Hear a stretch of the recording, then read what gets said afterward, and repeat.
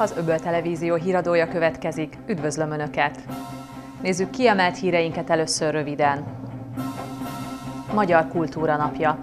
Díjakkal és műsorokkal készültek a települések. Korcsolya. A vízi rendészet tanácsai ellenére rengetegen merészkedtek a Balaton jegére.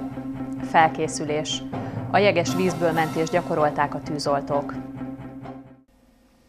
A himnusz születésének napján, január 22-én a Magyar Kultúra Napja alkalmából a Balatonfüszfői Fiatal Művészek Klubja adott ünnepi műsort. Verseket, hangszeres műveket adtak elő, valamint a Művelődési Ház előcsarnokában kiállítást rendeztek.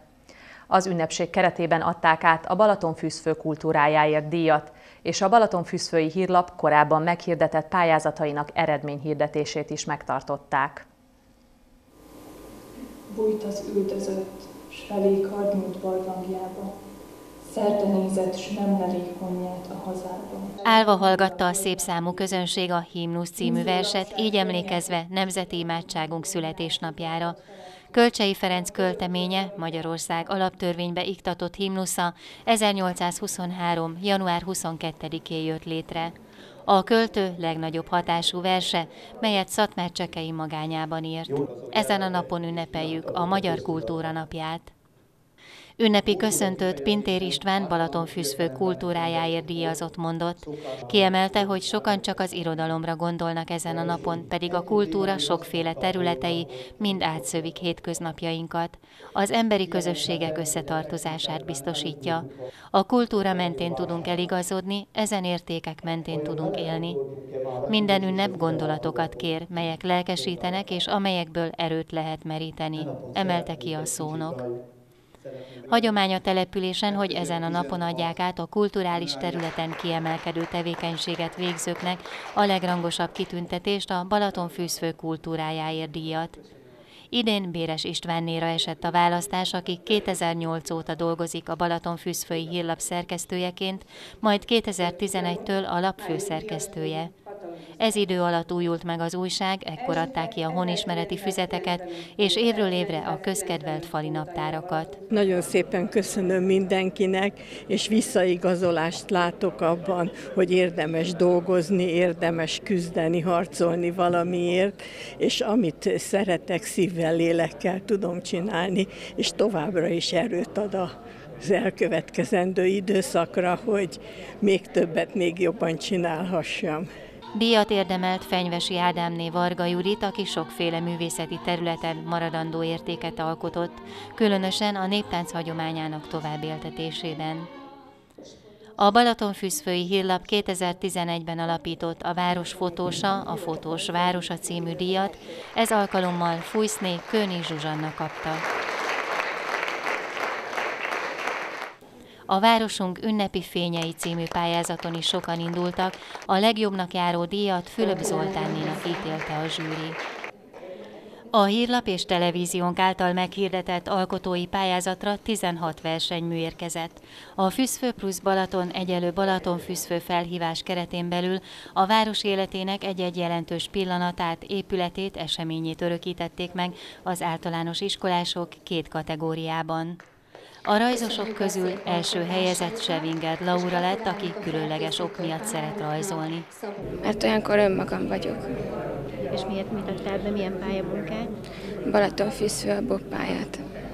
Tic Balázs, a maket készítő verseny győztese, a Füszfői Jézus szíve templomot örökítette meg. Több oka is van, hiszen hetente is oda szoktunk járni, és már többször is körbejártuk, megnéztük, és úgy gondoltam, hogy ezt én meg tudnám csinálni, és akkor vágjunk bele.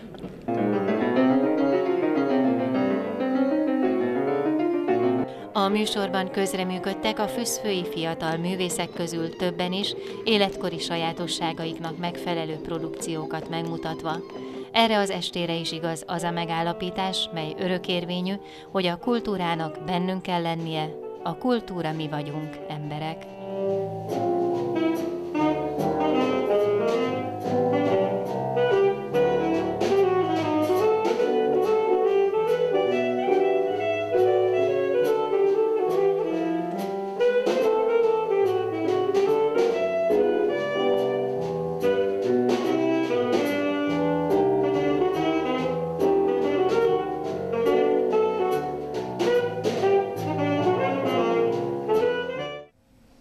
Kodály Zoltán szerint a kultúra annyi, mint tanulás, amelyet megszerezni, színvonalon tartani nehéz, elveszteni könnyű. A kultúrát nem lehet örökölni. Az elődök kultúrája hamar elpárolog, ha minden nemzedék újra meg újra meg nem szerzi magának.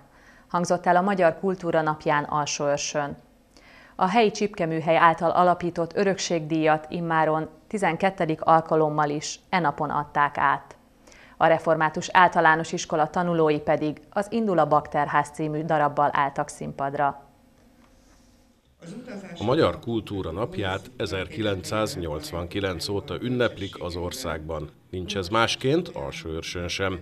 A jeles nap alkalmából mondta el dr. M. Tóth Antal ünnepi gondolatait. Véleménye szerint ilyenkor sokkal nagyobb hangsúlyt kapnak a kulturális rendezvények. A programok és események kapcsán sokan sokféle módon próbálnak átadni valamit a magyar kulturális élet kincseiből.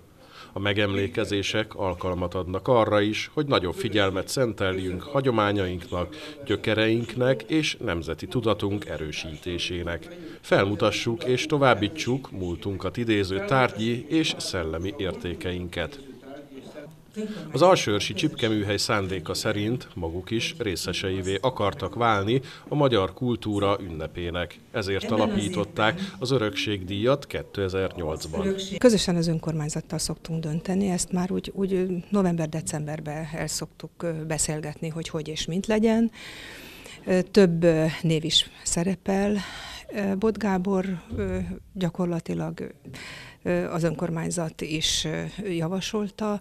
Hát ő itt született Alsőrsön, vitorlázik, ő csinálja a nemzetközi kőszobrász szimpóziumot, viszont, és még hozzá tartozik, hogy az 56-os és a 48-as forradalomnak az emlék oszlopait, ő egy kőfaragó, ő készítette, és innen indul mindig az Alsőrsnek a, a nemzeti, illetve az ünnepei.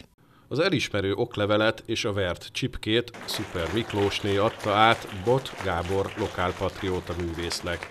A csipke kis Jakab Lászlóné munkája. Az örökségdíjat az egyetemes magyar kultúráért és alsőrs községért végzett, magas színvonalú munkáért adományozzák. Az a hagyomány, melyet őseinktől örököltünk, és mi joggal birtokolunk, az az egész emberiség számára kincs. A vele való bánás szolgálat fogalmazott a művész. Nagyon meglepődtem, és tényleg nagyon zavarba jöttem őszintén, ez nem, nem ilyen álszerénység. Próbáltam hárítani minden eszközzel, de, de Zsolték azt mondták, hogy teljesen egy öntetű döntés, úgyhogy úgy, megadtam magam, és hát nagy megtiszteltetésnek tartom természetesen. Az est Rideg Sándor Indul a Bakterház című darabjával folytatódott, melyet az Endrődi Sándor Református Általános Iskola diákjai adtak elő nagy sikerrel. Felkészítő tanár Novákné Juhász Andrea.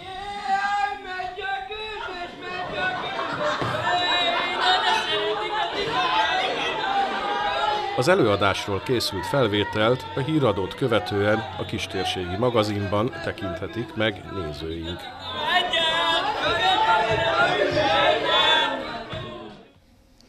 Rendhagyó hangulatú képzőművészeti mandala és lélekrajz kiállítást láthattak az érdeklődők hétvégén a Litéri Művelődési Házban. A település közművelődési intézménye a tárlat mellett ékszerbemutatóval és táncos előadással készült a Magyar Kultúra napjára. Egyedi alkotásokat láthattak azok, akik a hétvégén felkeresték a Litéri Kultúrházat mandalák sajátos mértanával, formáival, színeivel közvetíti az ember egyediségét. A lélekrajzok pedig egy másik dimenzióba vezetik el a szemlélődőt. A mandalák elkészítése épp oly aprólékos, mint a hímzés vagy csipkekészítés. Az ecset mellett csak körzőt használ az alkotó. A formák, színek jelentése mellett sajátos szimbólumrendszere van nem lehet megfejteni ezeket. Összességében a szeretetet fejezik ki a képek. Amit üzennek a képeim, hogy tehát mindannyian a szeretet vagyunk. Tehát belülről sugárzunk, tehát, tehát eleve a, ma, a mandala az Magdalát jelent, ami azt jelenti, hogy az élet, a, a lélek dallama, üteme, ritmusa. Na most ugye eleve mi emberekben is van egy lélek, aki kifejezi önmagát különbözőféleképpen formájában, és a képeimnek az üzenete az az, hogy lássuk meg, hogy nincs két egyforma ember, tehát amáhány ember annyiféleképpen viszonyulunk a világhoz, látjuk a világot, kommunikálunk, ki, kinek milyen megtapasztalásai vannak azáltal, milyen, ezt ő hogyan éli meg, mit raktároz el, és ugye így a színekben is látszik ugye a különbség.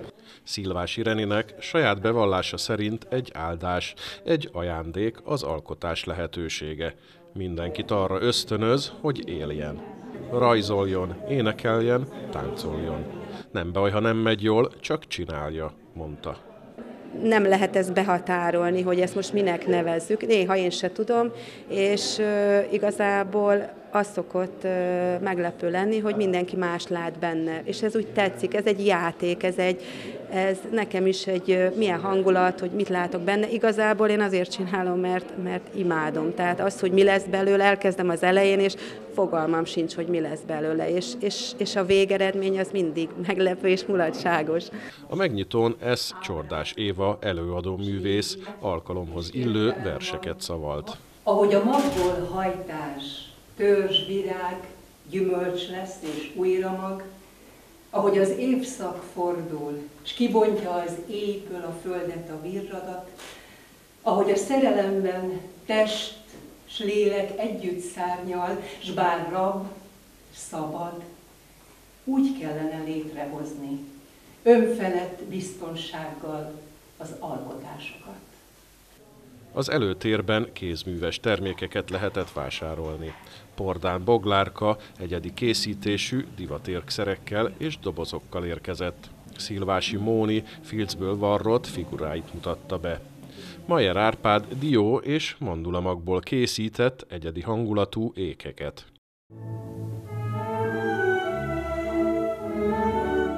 Ezt követően a nagyteremben a Winners Versenytánc Egyesület előadását láthatták az érdeklődők.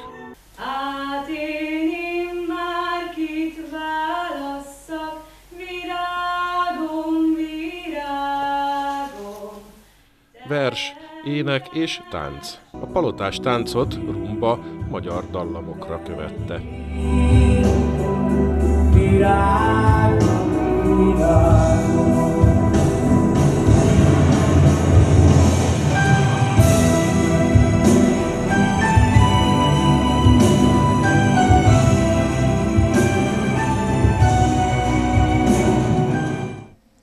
Akadnak, akik a téli örömök szó összetételt értelmezhetetlennek tartják.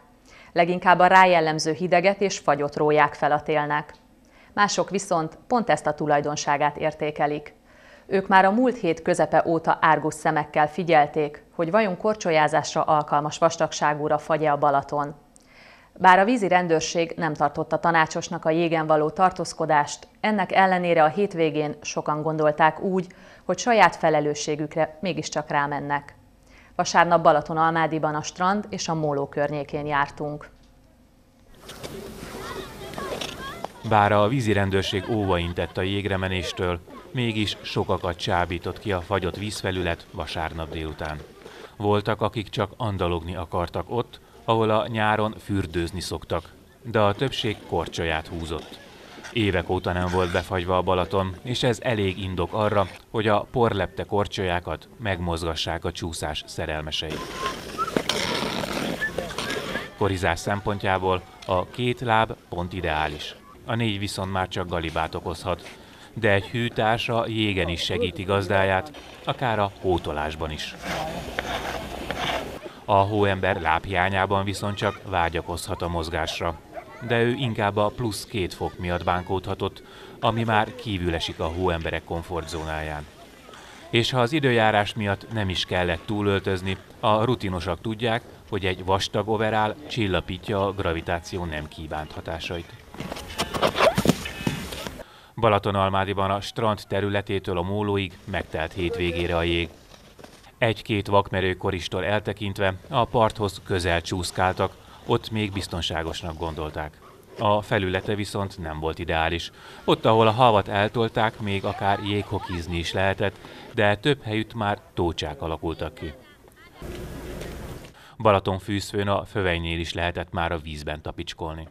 Ha hihetünk a meteorológusoknak, a héten már leginkább a pluszfokok felé tendál a hőmérséklet, így valószínűleg ismét marad a várakozás a jeges örömök iránt.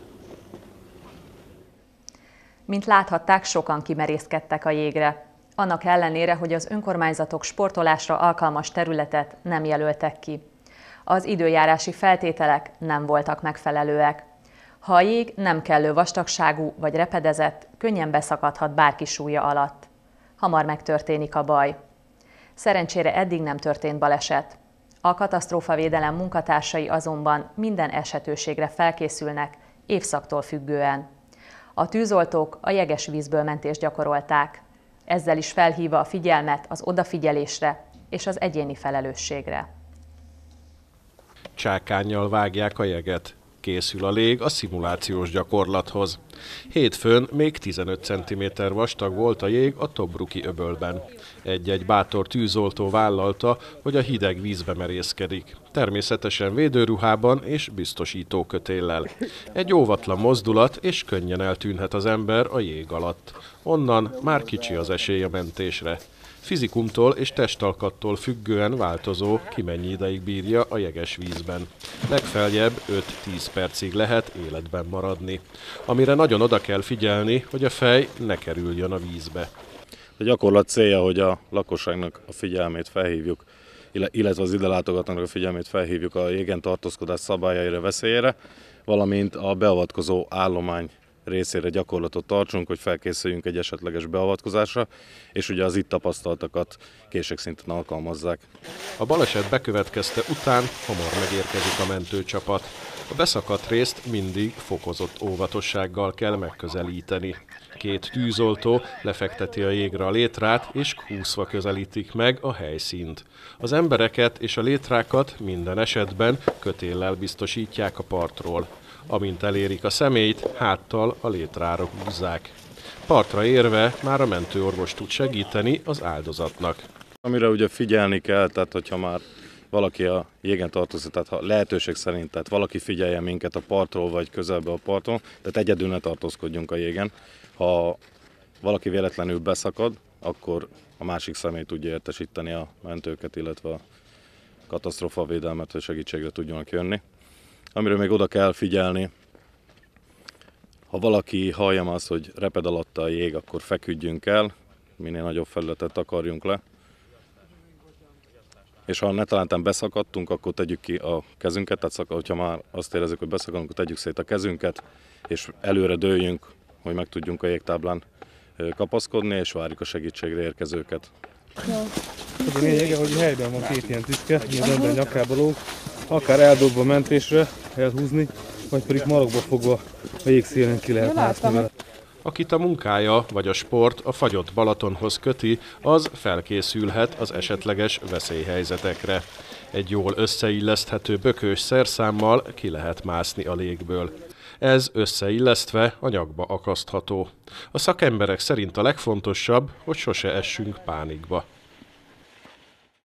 Lássuk még egyszer a legfontosabbakat egy-egy mondatban. Magyar Kultúra Napja. Díjakkal és műsorokkal készültek a települések. Korcsolya. A vízi rendészet tanácsai ellenére rengetegen merészkedtek a Balaton jegére. Felkészülés. A jeges vízből mentés gyakorolták a tűzoltók. Ezek voltak a híreink. Most magazin műsorunk következik, benne elsőként a Nemzeti Művelődési Intézet Veszprém megyei tevékenységéről hallhatnak Csik Mártától. Ezt követően indul a bakterház. A népszerű művet az alsőrsi iskolások vitték színre a Magyar Kultúra napján. Utána a gyógynövénytár következő része jön, most a tinktúrák készítéséről és felhasználásáról lesz szó. A képernyő alján látható elérhetőségeinken keressenek minket. Internetes oldalunkon, videócsatornáinkon visszanézhetik híreinket, stúdióbeszélgetéseinket. A Facebookon is megtalálnak minket. Csatlakozzanak közösségünkhöz. Friss hírekkel legközelebb pénteken jelentkezünk. Én már a munkatársaim nevében is köszönöm figyelmüket. A viszontlátásra!